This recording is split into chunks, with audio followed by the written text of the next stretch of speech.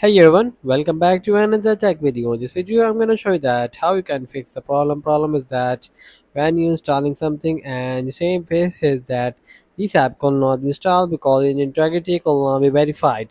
So you may face that problem in some ways.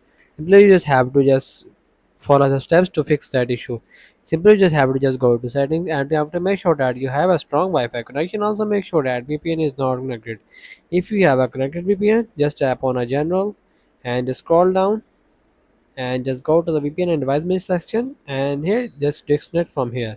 Simply just have to just go back and simply just again go back and simply just have to make sure that you have updated version of your iOS version. If you don't update the version of your iOS just update the version of your iOS. And after simply just have to just go to the Safari section. And if you do not find a Safari from here just simply just have to search from Safari and simply just find a Safari and just tap on that.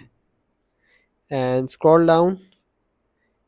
And if you see that there is an option clear history and website data just tap on that and just make that all history and just clear the histories.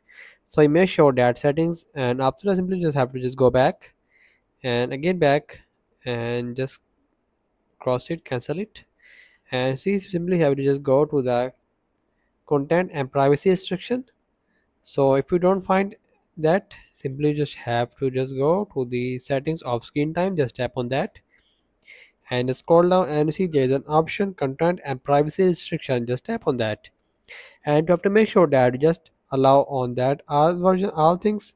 And also allow the toggle of that. Okay that's the setting. You have to make sure to do that after the settings we are problem gonna fix. So that's the video. Make sure you like our video and subscribe our channel for more tech related videos